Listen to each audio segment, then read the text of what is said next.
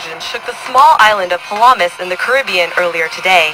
The extent of the damage is still unknown, as efforts to reach the only human settlement on the island, a marine research facility, have been unsuccessful. The facility is rumored to be operated by the world's largest non-profit ocean organization, Paleoco.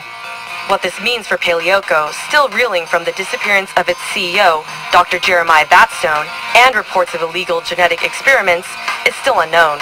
The U.S. Navy has issued a statement that it is investigating the explosions and warns travelers to avoid the area.